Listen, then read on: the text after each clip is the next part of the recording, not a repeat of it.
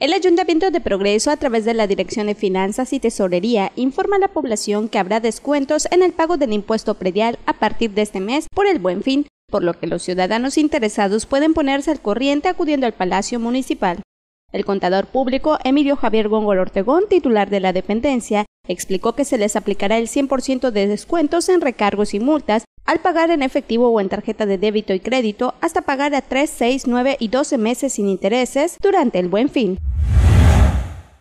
El alcalde Julián Zacarías Curia acudió recientemente a supervisar los trabajos de ampliación de la red eléctrica del puerto de Chupchulup, en específico en la colonia Felipe Carrillo Puerto, obra que dará mejor visibilidad tanto a los habitantes de la zona como a quienes transiten por ahí. El titular de Desarrollo Urbano y Obra Pública, Luis Castronal, precisó que en los trabajos se hará una inversión de 1.023.546 pesos, que permitirá colocar en aquella localidad seis postes de concreto tipo costa, seis transformadores, dos boquillas casco de acero inoxidable, así como la instalación de cableado de cobre para baja y media tensión.